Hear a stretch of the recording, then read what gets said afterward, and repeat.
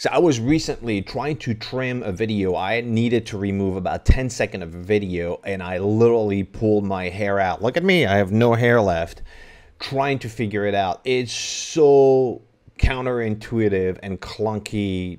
You know, I'm not gonna say the word. It's just not really good. So in this video, I am going to show you step by step how to trim your video and we're starting right now.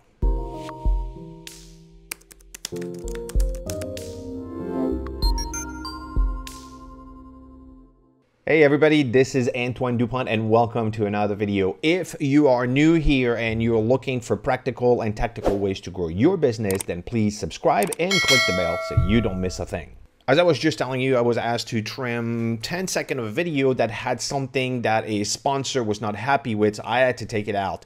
I went into the video editor, tried to figure it out, and oh my God, it's like really a pain in the ass.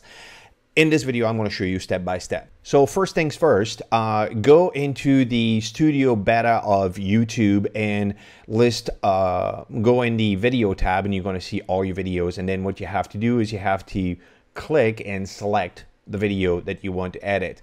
Once you have that video open, what you need to do is you need to click on the left side on the editor. So I'm going to do that. And there you have the video in front of you and you have that beautiful editor where you can actually trim the video. So here in the video editor, I can actually play the video. Challenge accepted. Ice bucket. I'm doing it. Ah! So what you need to do here is you need to take the cursor or that little squiggly thing here to exactly the spot where you want to start to trim the video, to cut it.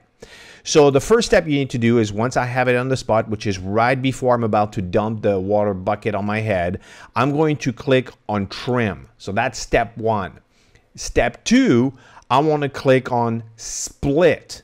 And now what I'm going to have the ability to do is to actually drag here. I put my mouse over that, uh, that spot and I'm going to drag it all the way to after the bucket has been dumped on my head, which is about right here. And as you can see right here, you have a little box here that says undo split. Don't click that because if you do that, you're basically undoing the split.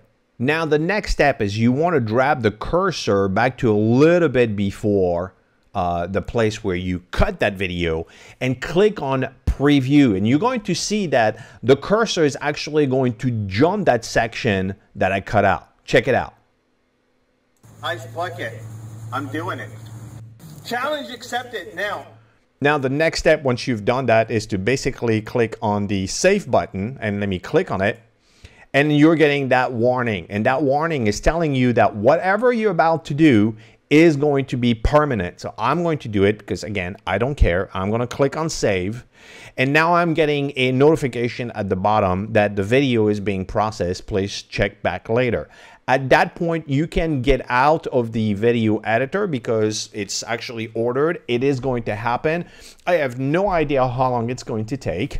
Um, I've just tried it out and I'm basically doing this video for me next time if I have to do it because it was really clunky and a pain in the rear to find out how to do this very simple task. So that's it. That does it for today. I hope this was helpful. And if it was helpful, please subscribe and click the bell so you don't miss a thing. Thank you.